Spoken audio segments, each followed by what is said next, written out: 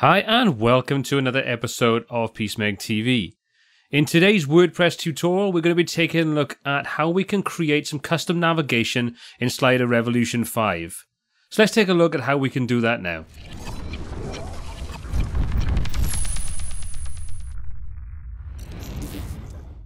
For this example, I'm just going to create a typical default slider. We're going to create a couple of slides, but what we're going to concentrate on is how we can set up the navigation. Now, Slider Revolution 5 ships with a whole host of navigation options that allow us to customize this in an almost infinite way. So we're going to take a look at some of the common options. We're going to take a look at some of the settings. But what I recommend with this is just dig in, have a play about with the settings, adjust things, save it, see what it looks like, and just get used to what the different settings are going to do for you. So let's take a look at what we've got on offer and let's start making some of those actual changes to our navigation. So what I've done is I've created the basics. I've given our slider a name of navigation. We're going to set it to a standard slider, default slide, and I've just set the height to be 500 pixels. Now, obviously, you can set this to anything you want. This is just a demonstration purposes. So what we're going to do is we're going to come over to the navigation section on the right hand side under the slider settings panel, and we're going to take a look at what's available to us in there. So you can see we've got six different options available to us. We've got arrows, bullets, tabs, thumbs, touch, and miscellaneous. And you can see we can turn most of these things on and off. So at the moment, we can enable the arrows. We can switch over to bullets and we can enable those. The same with tabs, the same with thumbs, the same with touch. And under miscellaneous, we've got some different options.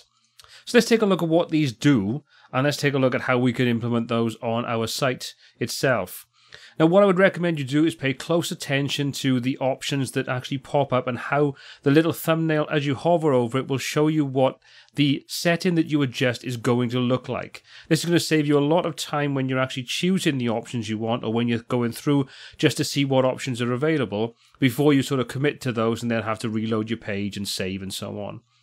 So let me just show you what I'm talking about.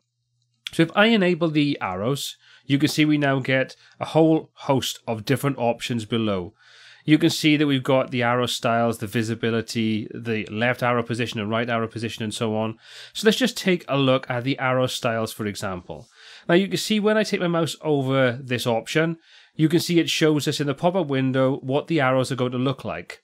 So if I choose a different option, you can see the arrows change. And again, if I choose another option again, so each time I choose a different option, this pop-up is going to show me what they're going to operate like in a demonstration version on our website. So you can go through, find one that you think is actually going to fit to the, the style that you want, and then you can kind of say, well, okay, that's the basics. Now I can go through and tweak those things. So I can say, do I want them to always show? Yes or no? Do I want to hide them under a certain size or over a certain size?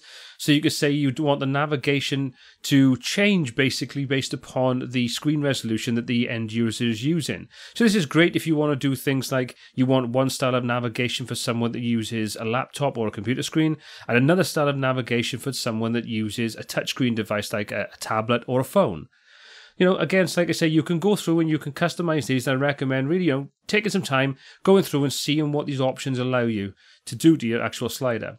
So, for example, if we say hide under, if I choose that and switch it on, you can see I can now specify the width from the option that pops up. If I turn it back off, that disappears, and the same for hide over.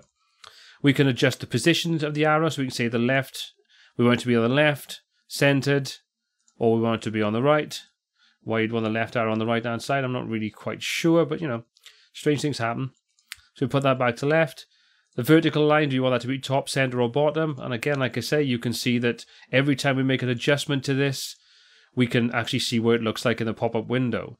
So this is great if you really want to get it right in there and start customizing the offsets, the vertical offset, the horizontal offset, so you can position them in your slider exactly as you want. So what I'm going to do for this example is I'm going to turn the arrows off and I'm going to jump over to thumbs because we're going to use some thumbnails on this one for, for this particular demonstration. So I'm going to switch those on and again you can see that now that pops up and shows us what our uh, slide is going to look like once we actually go through and set all these options. So let's go through, set some of these up, then we'll go over to the slides it's set at themselves, we'll put some slides in, then we'll set things up to work correctly when we're using thumbnails. So let's take a look at that now. Okay, so what I'm going to do is I'm going to go through and take a look at some of the options we have available to us. You can see we've got quite a few different types of thumbnails. And again, this will give us a, a preview of what these look like. So we can have them just an ordinary square thumbnail. We can have it with a sort of inset shadow to make it look like it's, it's inset into the page. We can choose circular ones. And let's go for those, just take a look at those. We can specify the visible thumbs amount, in other words, the maximum number of thumbnails that are displayed at any one time. We can adjust the spacing between those, so we can say, well, let's set that to 10 pixels as opposed to 5. And well, let's come down to take the, the thumbnail contain, container size. Let's let's set that to 150 just for the sake of it, just so we can see what they look like. And the container height we'll set to 75. I'm just making these values up just to play about to see what they look like. We can always come back and change those at any point in the future. Visibility, we want them to always show. That's fine. And the position, you can see we can do inside the slider, on the left hand side outside the slider, on the right hand side outside the slider, on the top, or in this instance, I'm going to put on the bottom, and I can specify the horizontal alignment. I'm going to put that to the center. Yeah, I think I'll leave everything else on there. That all looks fine to me. And we'll just hit save. So that's going to commit those settings. And with all of these, we can come back in and we can tweak these to our heart's content to get exactly what we're looking for. So let's switch over to the slider. Let's take a look at that and we'll set some settings on there and I'll show you how they actually affect the slider itself inside our website. So let's jump over to that now. And there's our slide editor. Now, if you've seen any of the other videos, you're going to get used to sort of seeing this screen. It's going to be where you're going to do most of your work. So I've got one slide at the moment and there's nothing on that. So what I'm just going to do is I'm going to set a main background. I'm going to set, choose an image on there. It doesn't really matter what I'm going to choose. I'll choose something from one of the templates. But what I do need to do, because I want to work with thumbnails, is I need to switch to the thumbnail tab. And I need to now choose what I want to use that thumbnail. Now, obviously, you could create custom thumbnails that are going to be exactly what you want, or you can use the thumbnail that represents the actual image on screen. So let's just do that. Let's just say choose an image. I'll choose that one. Same image again. And yeah, that's fine. So you can see it now shows me exactly what that's going to look like. So we've got a small thumbnail. I'll save that. And let's create a second slide. So we'll just go add a blank slide and we'll just choose a different image for the background on that. So we'll just come into main background, choose something on there.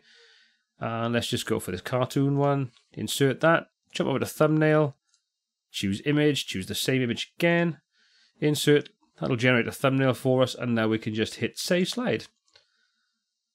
Once we've done that, I'm going to just jump over to the page that I've got that I've set up just to show this slide, so let's just do that now. And as you can see, there's our thumbnails. For some strange reason, they've gone a little bit oval, but we won't worry about that. We'll go back and take a look at how we can change those in a second. So you can see we can just click on those and we can navigate through to them. We could set up additional navigation methods. At the moment, we've just got this one, so this allows us to navigate through. So let's just jump back to Slider Revolution and let's go back to the slider settings and let's make some changes to that. And let's take a little look at what these things look like. So let's go back to the navigation. Let's just say Let's have some arrows on there. Let's enable those. Say, yes, we'll have those on there. And that style will do fine for me. And I'll just come to the thumb section and I'll say, I want to change the style of this. I don't want round ones.